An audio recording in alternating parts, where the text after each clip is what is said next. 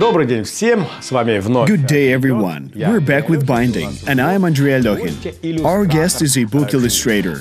You know, we've had quite a lot of illustrators on the show, but today's guest is a phenomenon, so to speak, a very unusual personality. You're going to see this unique image for yourself this red fox tail, this unique fox on the chest. So meet the extraordinary illustrator and extremely interesting person, Елизавета Суходолska. Неординарный совершенно иллюстратор и просто очень-очень интересный человек Елизавета Суходольская-Пеловир. Ну, э, For instance, if we take a look at your drawings, first of all, I'd like to say that you would have been an illustrator of children's books because of the famous Ukrainian owls are the cutest, and so on. Those old pictures are just perfect for children's books about pinkies and owlets and the like. о мышатах, о совятах и так далее. You illustrate the books of not simply serious authors, but military books, history books, etc. How did you happen to get into all of that? An illustrator has his own vision, and making him switch from one position to another to draw something different is fairly difficult. С одной позиции на другую. Заставить рисовать что-то другое довольно тяжело. Можно уговорить его. Можно заставить. Ну, вы, вы не такой человек, знаете. But you're not like that. If you know you have to make a living and you get a book that you don't like, but technically you can illustrate it, Нарисовать Чисто технически вы сядете и нарисуете. would you say, no, no, I'm not going to do that? Э, Если честно, э, To be honest, the days when I would say, just give me anything, I'll figure it out, are in the past now. нет. э, На самом деле... Actually, если if I could можно, get past э, myself, как-то I would have done себя that. переступить But then work стол, wasn't я as могла interesting, переступить and I didn't enjoy it as much. Зачастую I worked without passion, but I wanted people to feel what I wanted to say to them when they opened the А book. мне нужно, чтобы когда человек открывал книжку, он уже чувствовал то, что хочу ему сказать я. Как получилось так, что я стала As for how I больше became more of a болтать, battle журналистом, illustrator, э, Дело в том, что м, моя It's because жизнь, my life and all my друзья, friends мы are несколько connected somewhat связаны with the с military. этой тематикой. Many of my friends went to the anti-terrorist operation zone on day one. We used to go to Maidan together and we hang out all the time. Just don't tell my husband that I was on Maidan. Doesn't he know? I still haven't told him. He took my ID away and told me to stay at home, but I simply couldn't. I hitchhiked to Maidan. The revolution confused us a bit, but the war messed us up completely.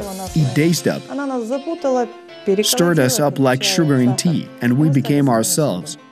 It so happened that when my friends returned from there, most of them signed contracts and went back there. I myself became a volunteer. I couldn't go against my will and just stop there.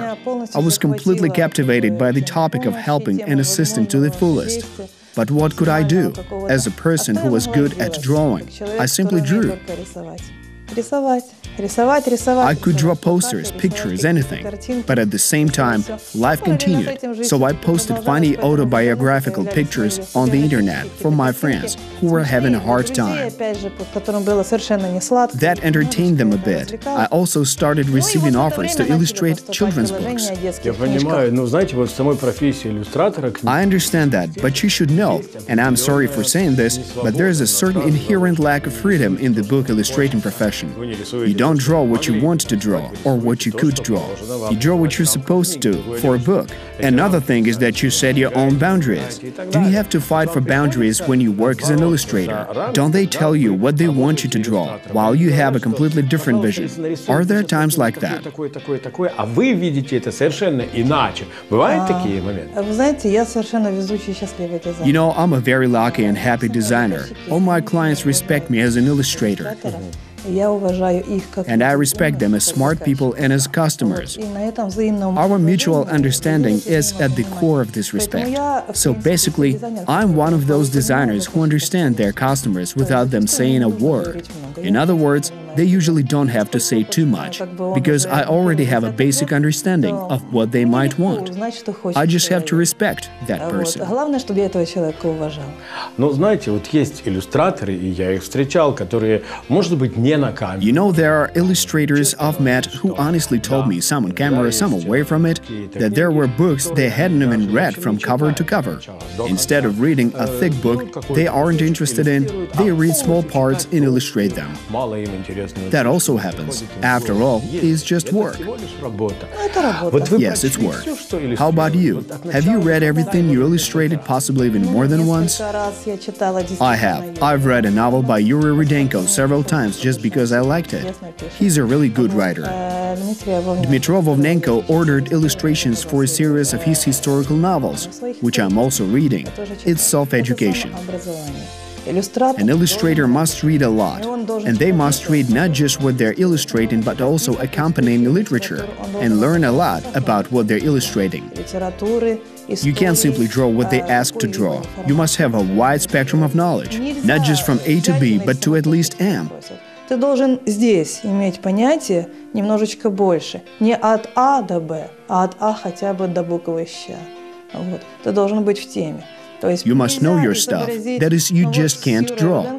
For example, Yuri Rudenko recently asked me to illustrate on a cover Smerch rocket launches firing. I'm a woman. No matter how much I wanted to go to the ATO zone, I even asked my boss to take me there, but they made me stay at home. They explained why by saying that they need me here and I can't do more here.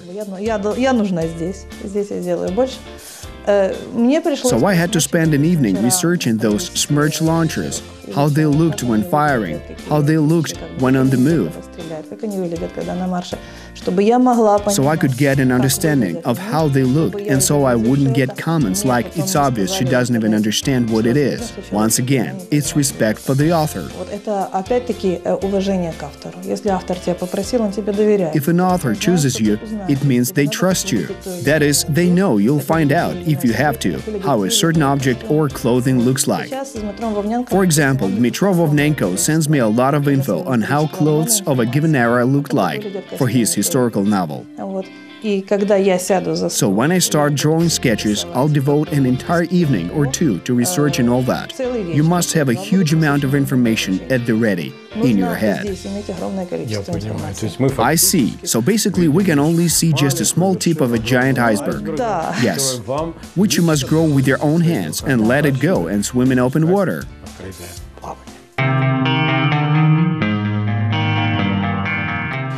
As you can see, Yelyzaveta Sukhodolska has worked a great deal with the well-known Dmitry Muravsky, the famous war photographer and illustrator. She worked with Dmitry Vovnenko, who writes historical novels and is a famous military journalist and blogger.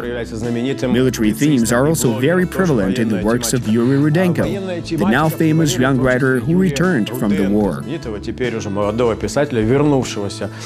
It is a serious topic, so naturally we're going to talk about these serious military with Yelyzaveta.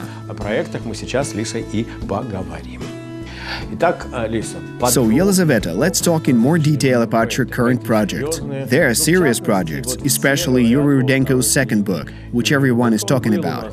He was our guest, and everyone liked him. Light and a Brick, the long awaited book, is coming out right now. I believe you also worked quite actively on it.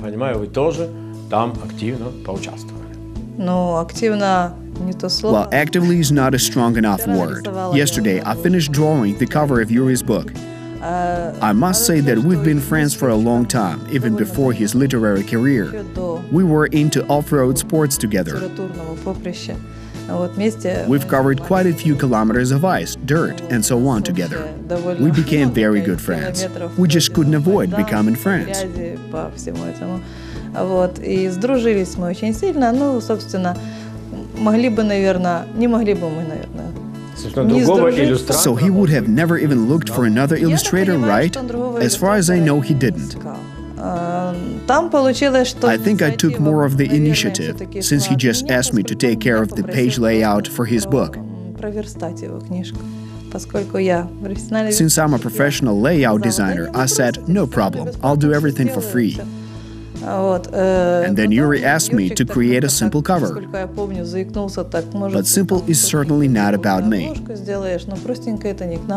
I said I'd make an amazing cover for him. So we made several versions, which got criticized on the internet. No way! Well, a critic is someone who would do better if they were able to. But we just kept some rational remarks in mind некоторым э, рациональным, как бы, да, Really? I hate criticism. Ну, критика, критика. Well, when it comes to criticism, it's easy being a critic when you know you're not arguing with a boxing trainer. Right, in some alley. Yes, in a dark alley. So you can criticize anything. I love criticizing everything I see, and sometimes I restrain myself from doing that. Be honest now, doesn't Ella Spielman have some of your features? You know, maybe a little bit of careerism, but I stopped just in time while Ella kept going. Yuri created an interesting character. He ended up with a young woman who just cannot stop.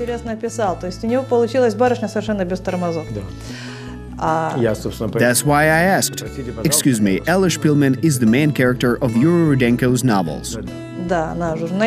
Yes, she is a journalist who went to Maidan and fell in love there. Those who want to know more will read the book. I recommend reading it because I don't want to spoil it. It, as a matter of fact, is an interesting and exciting novel, given that I do not have any lyricism in me at all and that I'm not a sentimental person. I got fixated on a certain part when I was reading the book. I was overwhelmed. My feminine heart even trembled several times, which, let me tell you, doesn't happen often. No, it doesn't. I messaged Yuri to let him know, and he was also touched. But I digress. Going back to illustrations, there was supposed to be just one on the cover. And we created it. We went through criticism, through several sketches, and chose an interesting one. If I recall correctly, Yuri's wife, Tanya, suggested it.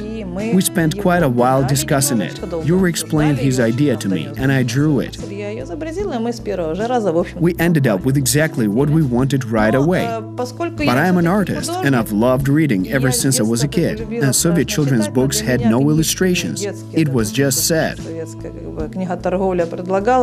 они без, иногда шли без иллюстраций. То есть это было такое унылое нечто, when you opened the book, there was nothing but letters. It was like a slap in the face for me as an artist. So I offered Yuri to draw an illustration for each chapter. He did something like this. And I said, okay, it's settled then. We didn't have much time, so in just four days, I drew 82 illustrations, if I recall correctly.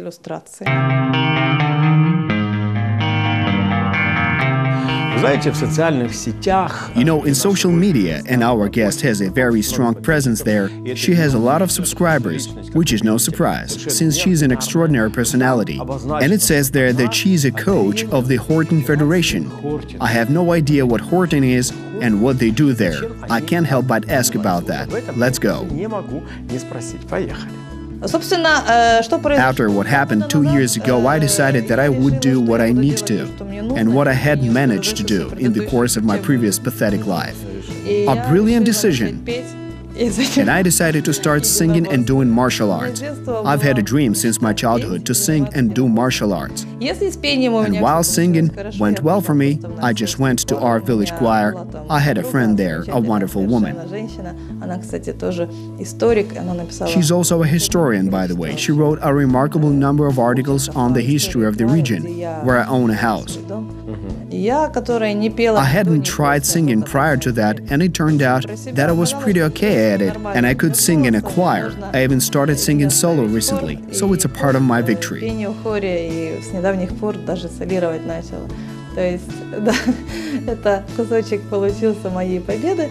Вторым же номером я решила пойти... Then I decided to start doing some sort of martial arts. Какие-нибудь единоборства.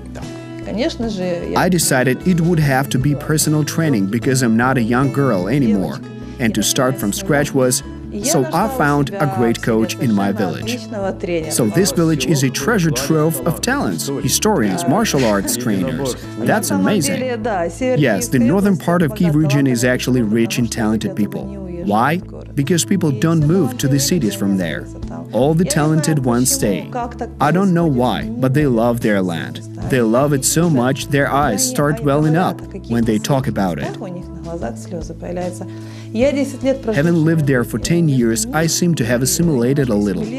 Even though it might seem that it's a bad decision for a female native of Kiev to move to a village. A kind of downshifting, huh? Yes, but I was actually very impressed with this love. Your eyes are about to start welling up too. No, they're not. So what is horting? Horting is a Ukrainian national martial art. It's already become distinctive and has all the registered forms of horting.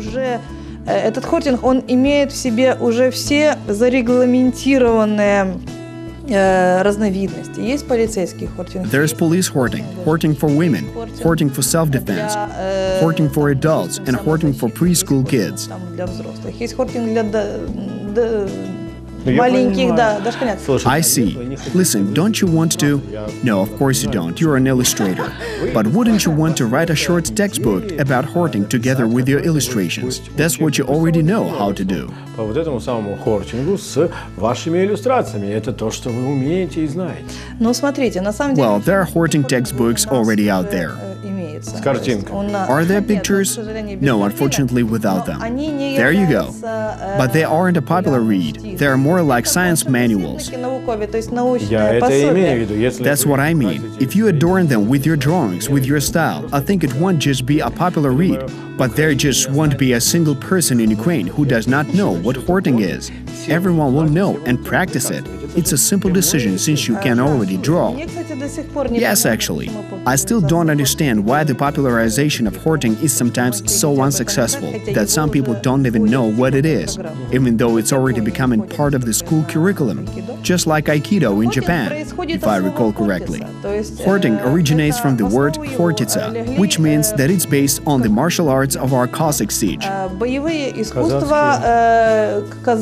Да, значит, да, нашей сечи, то есть вот именно умение защищать себя от The ability to defend yourself from a sword, in hand-to-hand combat, in a fist fight, all that lies at the heart of horting. Initially, it was adapted for teenagers, for kids. So that they could learn elements of taekwondo, aikido, karate, boxing, Greek wrestling. It's a mixed martial art that only has the best in it. You know, Yelyzaveta, people who've been expecting a show about books are definitely going to question what we're talking about. But I want to say that you're an amazing lady. You can do it all. Besides, I've seen your illustrations. I usually try to check what my guests do before I meet them and I was very impressed when I saw your social media post. And I'd like to say that it's a great idea to create an all Ukrainian horting textbook with your illustrations.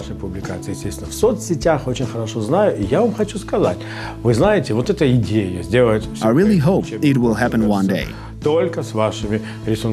And if any officials or athletes are watching this, I'd like them to remember this and contact this address. Today's guest will be of great help to you. And I would like to thank you for coming. Come and visit us sometime soon. Thank you.